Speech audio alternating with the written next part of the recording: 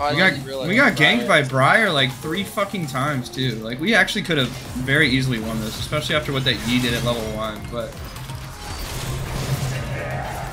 Dude, that Yi, at one time he chased down that guy. I don't know who it was. It was like one HP for 30 seconds.